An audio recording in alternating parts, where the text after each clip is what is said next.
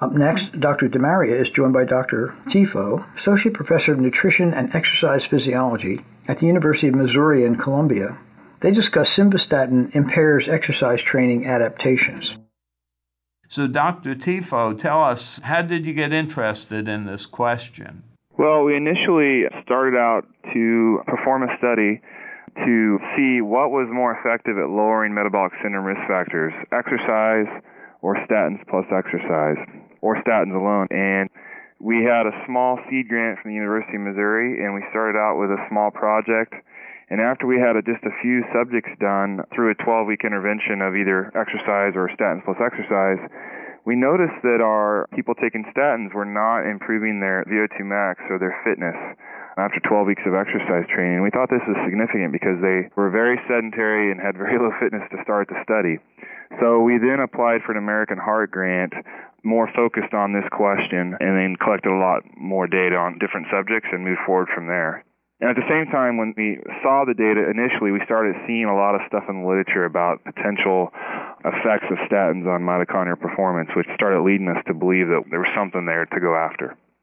So you asked the question as to whether or not in a group of patients, and my recollection is specifically metabolic syndrome type patients, that statins would have the effect on the adaptations to exercise training. Is that correct? That is correct. And was randomized, prospective, how many individuals? It was 19 in the exercise group and I think 18 in the exercise plus statin group. And what were these patients like? Were they classic coronary risk type patients? They had two out of five metabolic syndrome characteristics. We went with two out of five instead of three out of five because it was difficult to recruit three out of five who weren't already on statins and other meds. They were basically obese. The average BMI was 34, sedentary, stating no programmed exercise, and then they usually had either hypertension and or elevated waist circumference and then a few here and there had the triglyceride or the elevated LDL. So, what kind of exercise training was this walk, run, jog type program or was it supervised? How vigorous was the exercise training? Almost 100% supervised exercise. At the end, they would be able to go do one about a week by themselves, but it was five days a week at 60 to 70% of heart rate reserve mostly on a treadmill, so it was really a fast-paced walk. Usually at a somewhat of a grade. As they became more trained, of course, they'd have to increase the grade and the speed a little bit as the 12 weeks went along. And then, of course, it was a 12-week exercise intervention. What kind of change did you see in exertional capacity? In the exercise only group, they had a 10% increase in VO2 max and a similar increase in endurance or time to exhaustion during the stress test. And in the exercise plus statin group, they had no improvement, or it was only, I guess it was a 1.5% improvement. Obviously, an adequate kind of physical conditioning program to produce a 10% benefit in those patients who weren't on statin. That's pretty amazing that how much statin were they on? They were on 40 milligrams a day of simvastatin, and we chose that because when we started the study three or four years ago, it was newly generic and was affordable for us to move forward with. Plus, our cardiologist on the study with us convinced us it was a statin that was commonly used. And at the time, I think 40 milligrams was a pretty moderate dose, and I think now it's considered maybe high. I'm not 100% sure. So, do you think there was something unique about simvastatin, or would these data apply to any of the statin agents? Well, it's a lipophilic statin, so it penetrates all lipid membranes throughout the body. And so there's an idea that potentially pravastatin, which is a hydrophilic statin, may only target the liver. And there's some evidence and not affect skeletal muscles adversely. And there's some evidence in rodents that that is true. They actually did an exercise study in rodents. And when they used pravastatin, it didn't cause the negative effects that they see with the lipophilic statins like simvastatin or atorvastatin. As I recall, you also did some muscle biopsies to look for biochemical evidence of statin effect. Right. And what we saw there was that in the exercise only group, they had a 13% increase in citrate synthase activity, which is a marker of mitochondrial content. However, in the exercise plus statin group, they actually had a negative 4.5% decrease. This is similar to a previous study in which they measured the effects of 80 milligrams of simvastatin alone with no exercise, and they showed that mitochondrial content was reduced by 40 to 50 percent in patients. So we weren't surprised to see this effect. So you have a mechanism by which a reduction in exertional capacity could be mediated. Exactly. It's probably central to skeletal muscle mitochondria.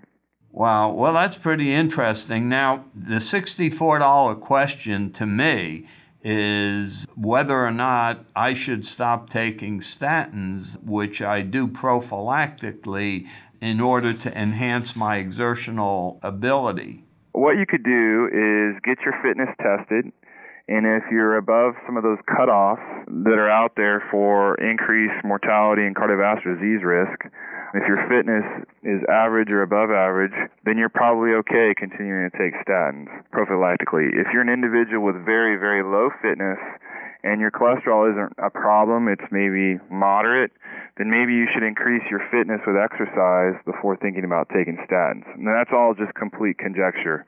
I'm not a cardiologist. But I do think these discussions need to be had because there's a lot of evidence that midlife fitness and fitness throughout your lifespan is extremely important for protection from chronic disease and early mortality.